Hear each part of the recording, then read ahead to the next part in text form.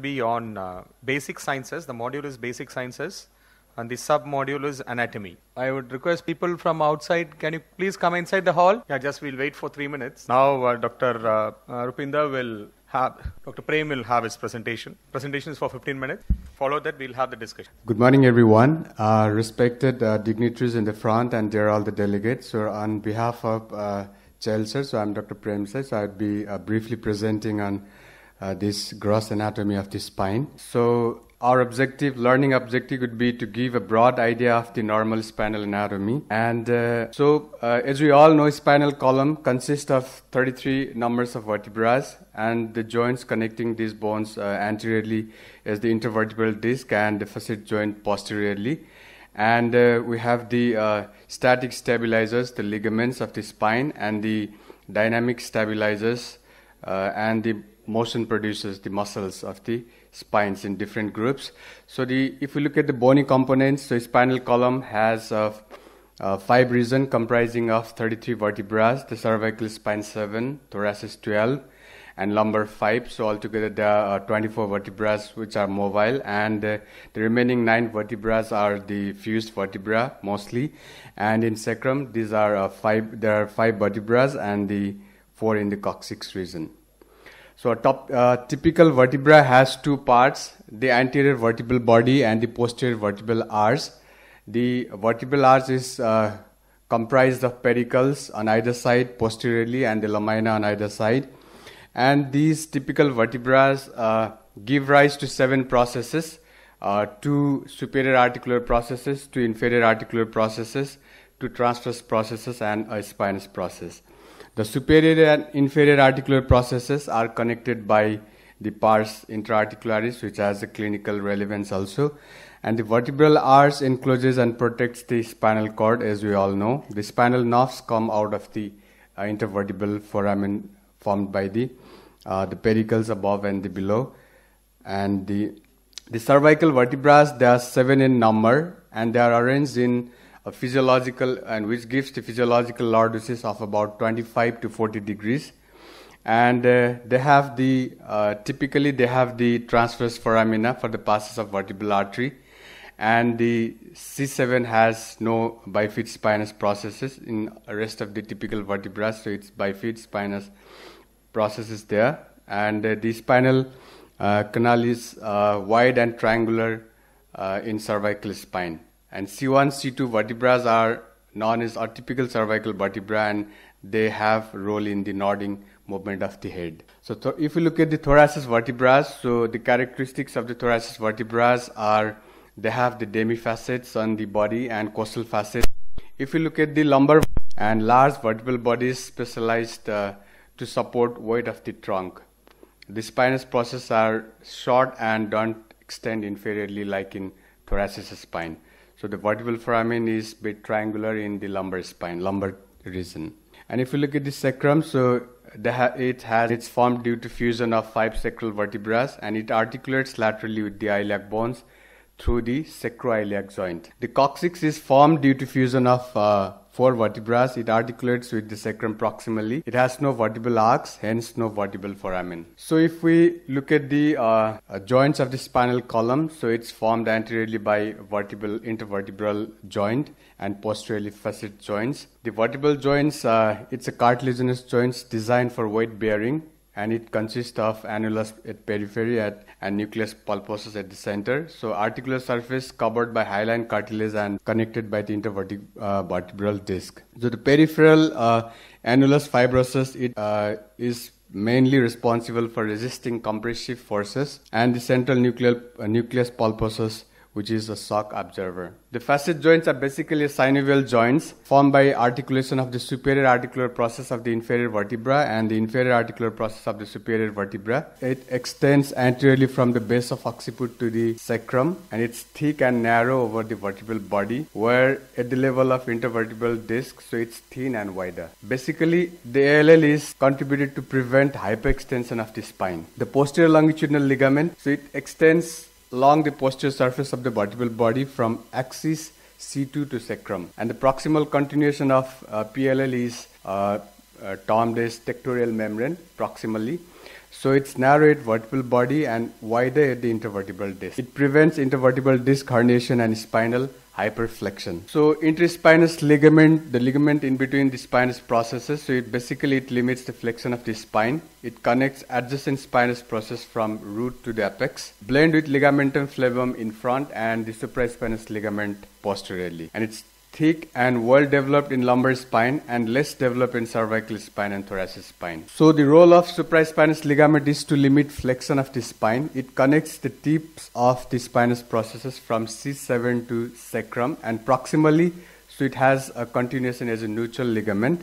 In front it is continuous with interspinous ligament. It's well developed in lumbar spine lumbar region then in the thoracic and cervical regions. So the ligamentum flavum basically it preserves the upright posture and helps resuming it after flexion. It connects the ventral part of the adjacent lamina. Each ligament has two lateral portions, so each arising from the base of the superior articular process, uh, articular facet, and extend backwards to meet uh, the opposite half in the midline. So the posterior margins of the two halves are united with uh, intervals in between uh, for the passage of small blood vessels. So it's attached proximally to the anterior surface of the proximal uh, lamina, some distance from the inferior margin of the lower portion of the upper lamina, and it's attached distally to the posterior surface of the and upper margin of the inferior lamina. So it's broad, long, and thick in cervical spine when compared to the lumbar region. Intertransverse ligaments they have basically role to limit uh, lateral flexion. It connects the transverse processes of the adjacent vertebrae. Often it blends with the intertransverse muscles. In the lumbar region, it's thin and membranous. So if we look at the uh, muscles of the spinal column, so it can be broadly divided into three uh, groups: the superficial one, the intermediate one, and the intrinsic or deeper spinal muscle groups. The trapezius muscle, latissimus dorsi, levator scapulae, rhomboids. So these are the superficial muscles in the spine.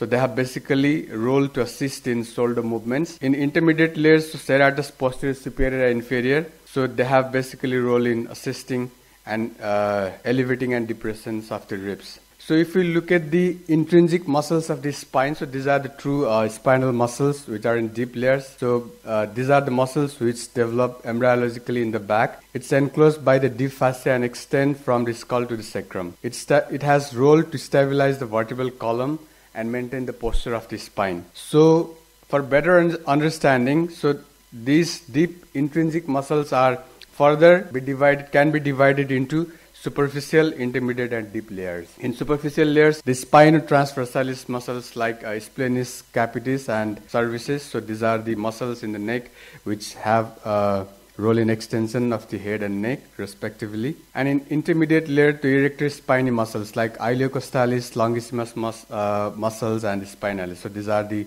intermediate group of muscles which all have common tendinous origin distally and they have a role in extension of the vertebral column and the head. So in deep layers, the uh, multifidus, rotators, and semispinal, so these are, these are the muscles of the deep layers. And the minor deep intrinsics are interspinalis muscles, intertransversalis muscles, and levator costorum muscles. So uh, if we look at the role of the uh, multifidus, so they have best developed in lumbar area and stabilizes the spinal column.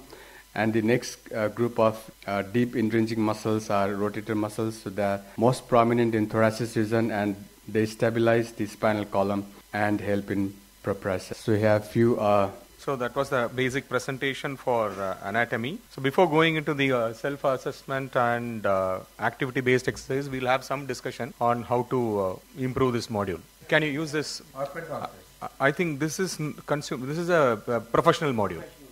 Consumer module is in the afternoon. Uh, professional modules are 10, consumer modules are 7. So some of them may not have uh, professional mod- consumer modules. This this may not have a consumer module. Other thing I would uh, like to say is like uh, who uh, I think uh, spine surgeons. So that's what like if it is more of an applied anatomy rather than uh, unfunctional embryology, rather than um, having this. This could be a module uh, for yeah. basic anatomy. Uh, I think for learning students, because the students also will log in. Because for, for, a simple thing, we all know that no, like in anatomy, we are taught that the supraspinous ligament prevents the flexion. Mm-hmm. But actually, uh, when you become a surgeon, you know that is the commonest thing. You take it off and you don't see any spondylolisthesis after that. Should have a module. I don't think it, uh, it's a, there is a module is there. Right? So that is better perception.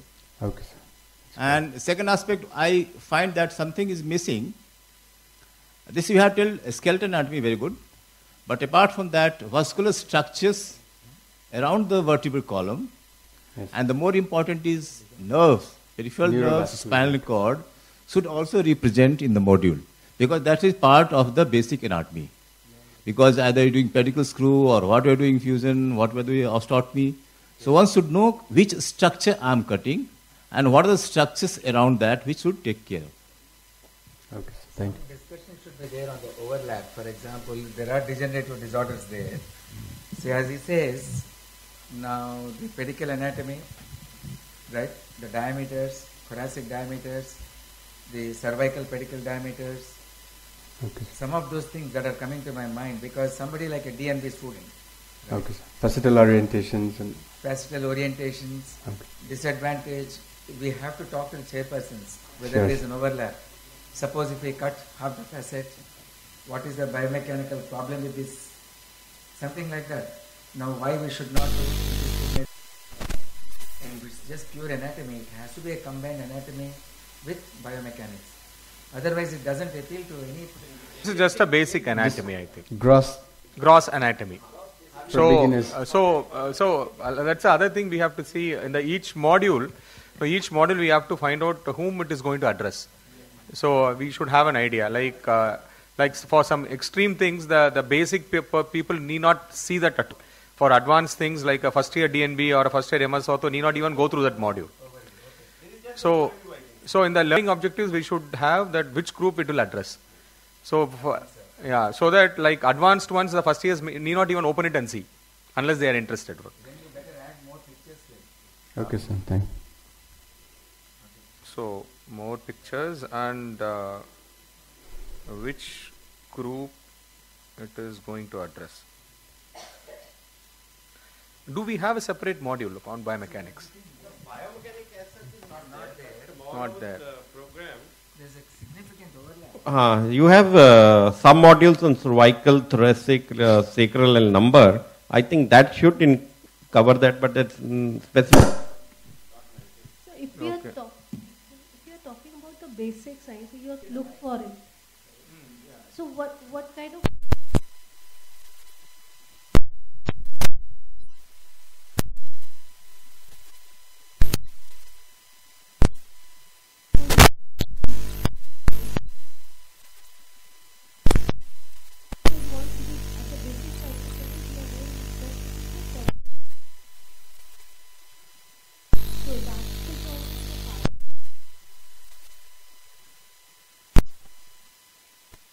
It will come as a biomechanics. So biomechanics will definitely look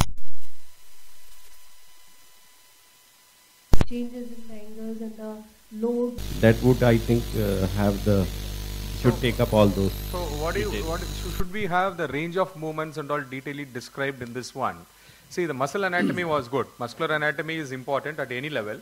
So, that is fine. But other anatomy like that, you have so many vertebrae, so many are joined together, and all those things, can it be made as a single slide?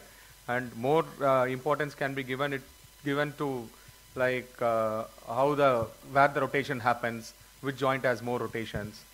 Okay, what is that? That's a very important point. C1, C2, range of movement, subaxial, range of movement. Normal curvatures. What is the normal curvature? of the Curvatures. Cervical, Yeah. lordosis, kyphosis. When do we say, maybe that should be included? I Oh, don't. Yeah. Ah, that's included, sir. That's The normal curvatures. Normal curvature Ah, is pic- there. yeah. The pics there, it Lot of to. Triangulations. And what about uh, pedicle diameter? Does No, it, it, uh, it should come. I think tho- those things can be given extra importance. Yeah. Uh, even if it is couple of slides, uh, we can have those things in, in diagrammatic representation. It need not be uh, full written explanations. That should be Indian data. The AIIMS people have done the data. Yeah. So we can, We have can actually data. have the measurements of the vertebral See, uh, that, that's in what in the slide. morning discussions. What we had was like uh, it should uh, be approachable or applicable to all the people all over the world. Like uh, you should have a common baseline standard uh, pedicle diameters, and then we can also add that this is the Indian population diameter. Okay. Okay, so more of applied anatomy. Okay, Uh, I think other things like um, uh, what else? Uh, what else we can add on this one? Yes, yes, please. So, uh, keeping aside the uh, topic of presentation, I would also like to know the. I also like to uh, let comment on the format of the presentation. When we started with the overview, like your uh, Learning objectives, learning yeah. objectives. So it just mentioned uh, a single line uh, to know the anatomy of the spine. Instead of it, we can divide it into multiple objectives, starting using the Bloom's taxonomy. yes. like learning objectives actually uh, most of the presenters would not have done it, but uh, there is going to be a separate uh, talk by Dr. Chabra about it, and uh, we are going to improve on it. Sure. The learning objectives will be there. sure. Okay. Uh, anything about abnormal anatomy, like uh, The- I I have a I have a point to diseases, make. it will come. Yeah, yeah, it will come with the diseases. Yes, yes. I, I have a point to make. Now, as I understand, these presentations when they are going to go on the website, they are not going to have a narration behind it. yes. Correct. So, um, the way you make slides for a presentation that is non-narrated versus somebody who is consuming content by seeing the slides is different. Uh, when you are speaking about a particular uh, slide and you have audio behind it, um, you can use a lot of pictures. But if you are not doing that, you also need to supplement that picture with, with text because then how will, how will they know? So either the slides have um, like a narration at the bottom, which is written text, and you have a picture there. But then you know the the amount of material you can put on a slide in 40 slides is really hard. Probably You can a have- you can- labeled picture. You can have say one slide on the um, alignment of the whole spine and have a lot of text underneath that slide to describe that slide. But you can't really have like you know alignment can take 40 slides of your ana- anatomy. It's extremely hard to Yeah, put all that. that, that technical problem is always there. Yeah. Uh, the problem it problem in using a presenter view uh, in slides is it is easily copyable. That's what we call like you add the narration in the lower end in the notes column. No, so I, uh, f- forget about copyable. I mean, if you are going to create online content, whichever way you do, it is copyable. I mean, you can. I mean, I mean, I'll figure out a way to copy it. I mean, if I can figure out, means the younger guys can make it even better. So, it's not about copyable content. It is about the learner's experience.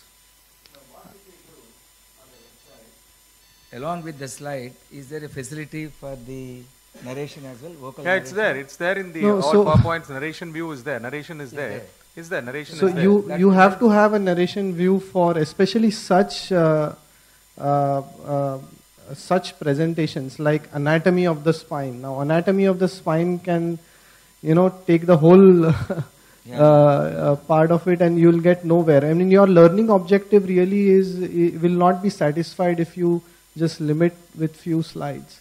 So a lot of text also has to go along with the pictures because this is not something that you are speaking about. Now you can talk about 40 slides for half an hour, then that's okay because you, uh, we have given you half an hour to speak about it.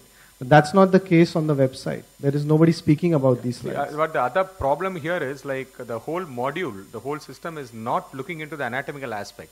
This is only part of it. Yeah. So it is just an entry. So uh, like unless it is a purely an anatomy textbook or an No, anatomy so uh, oriented even, one. even if it is an entry, I think the objective of it is to give an overview of the spinal anatomy, which is what uh, the uh, the presidents, past presidents are saying is, is correct. You cannot have anatomy without the surgical implications of it. You know, so like pedicle anatomy and all those things. So Yes, yes. a lot of it is going to come as the presenter view with the text in it because otherwise it's just not going to make sense on on your slide you cannot have so much text because then if you have so much text then you have no place to put the Place to put. pictures So we should, uh, yeah, fine. Yes, next, next. So what, What's would- your what we, actually? What we could do is One sec. What is your suggestion? my suggestion my suggestion would be to have each slide accompanied by text Perfect. Okay. and the, and that text need not be on the slide Right. It, it is a accompaniment to that photograph. Because the medium of the presentation is not the same as Exactly. How we present in conferences. We present in conferences with an audio behind the slides. For anatomy, you would prefer In these, as well? there is no audio behind the slides. No, do so you want an audio behind the slide as well? It's If a possible. humongous task Task, to do yes, something it's like that. The narration is possible. I mean, we, not narration. It's the, not, the, because the see- writing is possible. See, the guys, the guys chosen by ASSI to do this job, they're big professionals, and the money is there. They're charging us lakhs of rupees for this. I mean, to go through that audio content of it to make sure that it is accurate is, I think, Suppose if you can do it, you would suggest that? I wouldn't suggest it. I would say that keep it on text. You can Text. read it. Text. You can you can read it if you want to. If you don't want to, skip it. Okay, fine. Yes. So, uh, Okay, definitely we'll note it down and we'll pass on the message to them. The- and we'll get an opinion for whether to have a text or this thing, but plain slides should be avoided. I think it's not a uh, brilliant idea. I think Yes. it, I think it's very difficult to get all the content in the depth that we are talking about into the presentation.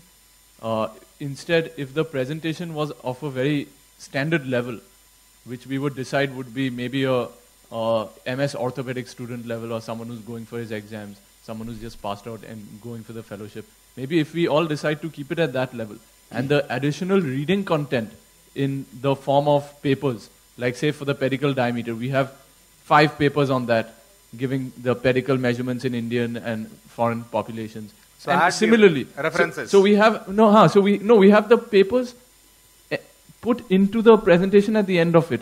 So if anyone's interested, they can just click and have additional reading content there, and not look at the presentation for that.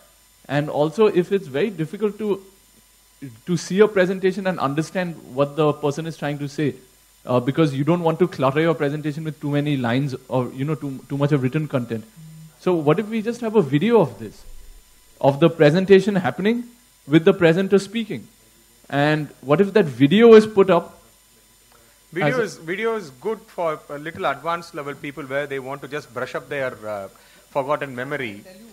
Otherwise, uh, most of us would prefer a text. The problem with, with, with the video recording of the speaker is that, as Dr. Chabra said, that these presentations are going to undergo multiple peer reviews, editorial reviews, and all. So, like, let's say doctor here has presented, and then we have recorded it, and then we suggested changes. Then, are we going to record it again?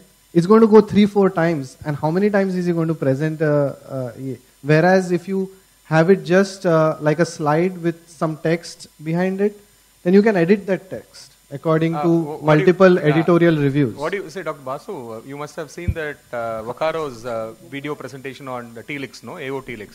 So, like, only advanced people can grab it immediately. Otherwise, most of us would prefer a slide presentation or a written presentation. target audience for this is not only the spine surgeons. Yeah. What we are made to believe, it's any doctor in India Yes, can yes. open up this. So you can't have too much of a sophisticated presentation because then they'll not get it. Can we add some references to it? Like as he said that if you want to know about the pedicle diameter in further, we can have a, a lower down references where they click out on the copy uh, link and then it can open up. So uh, whenever you are creating a professional module, the spectrum of professionals will be huge. For example, this was going to be used by maybe an MBBS student to somebody like who is heading the Department of Spine Surgery at Vellore. So uh, the entire spectrum, you you it's very actually extremely difficult to satisfy all. So you have to create what is the maximum potential where this uh, presentation can go to. So you have to keep some things basic and you have to keep some things very, very uh, in depth with a possible, as many of us suggested, a possible link to various resources. Might be articles, might be journal articles, might be other resources where the interested person who is actually wanting to see in your presentation what is the interpedicular distance at this particular level can be directed to that. But that all of that cannot be uh, there Put in those slide. 40 slides. So uh, you you have to start with the basics and go on to a reasonably very high level. But again, with the limitation of space and the number of slides, that you cannot do everything. So you have to put in some references for further reading, but you will have to cover a, a good spectrum. uh, for example, those uh, anatomy slides are uh, with showing the pictures of the uh, paravertebral muscles are fair enough, but there should be some other things which a professional like who is 10 years into spine practice has got stuck up in a particular case might be trying to look at a your presentation to find the answer to. So it has to be a mix and match. The other uh, comment I would like to make about the audio, you know, if somebody is wanting to go through a presentation in the objective of learning that rather than referencing that, I believe that th- these are two different words. For example, a, a first year resident, or say uh, one of my residents is going to appear for the examination in October. So by September, he starts to prepare for the exams, the exit exams of spine fellowship. He will definitely go into this resource and look at the anatomy of because he will have, he might have a long question on that. He might be asked in the orals. So for him, an audio on this would be fantastic. He would be actually in that half an hour with listening to the audio and going through that slides would be great. But for example, if I get stuck up in a case, tomorrow I have posted a case which is an abnormal paravertebral anatomy, if I want to go into the presentation, I would not be likely to listen to the audio. I'd try to go to a particular slide which answers my question. So, on audio is a very good resource, and as Dr. Raghav correctly pointed out, we are paying a lot of money to this to these professionals. If they can submit the audio along with it, that would be great. But that I think should be uh, left on the decision of the submodule editor to see whether an audio can be punched into it or not. Sure. From, uh, embryology, like how spina bifida, anatomy and all that, how it develops into arteries and then unites into one part. Related embryology should, I think, be a separate talk. I mean, a separate presentation on the embryology of the spine. I I'm mean a separate mo- sub-module. I, I'm not sure. It's, it might not be a sub-module. It might be uh, in the bo- module of basics.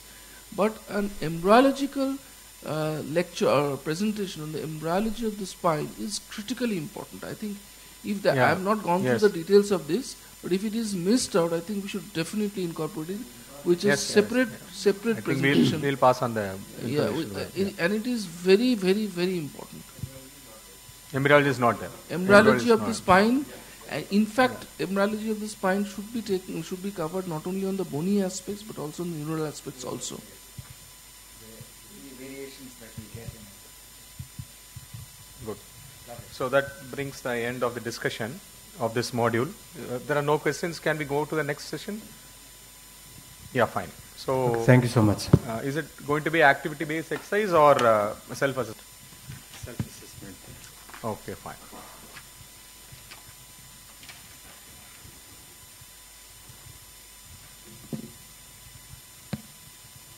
So these are the self-assessment questionnaires. So we have included 10 questions here. The total number of bones in human spinal column. So these are the options here.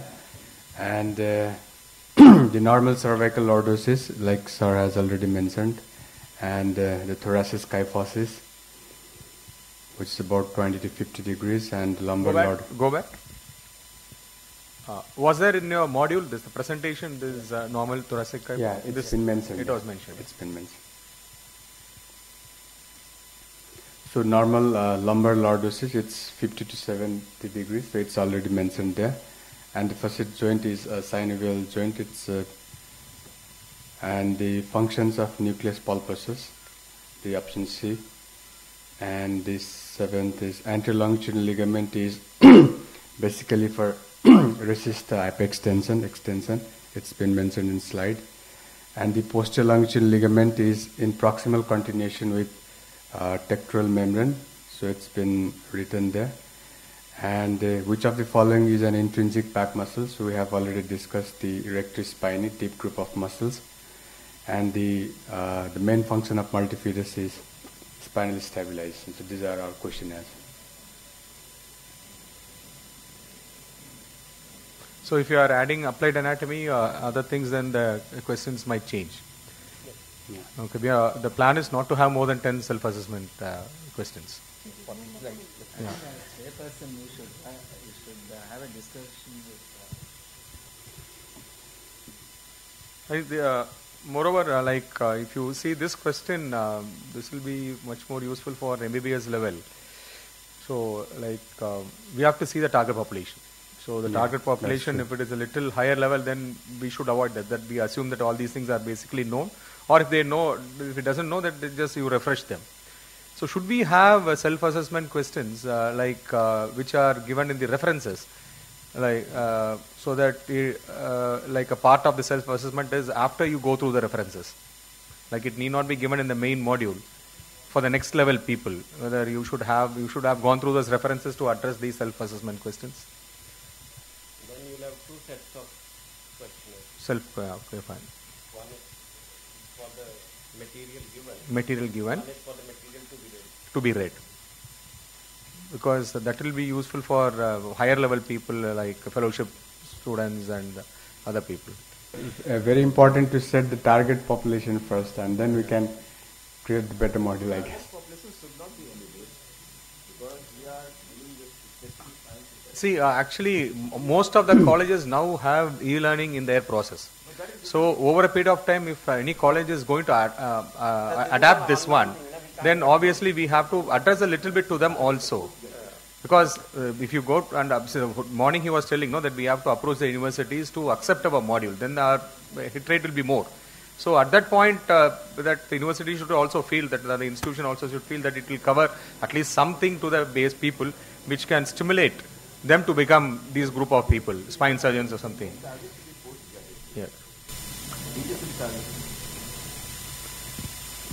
uh, what do you think sir I think so. Anatomy should be PG targeted.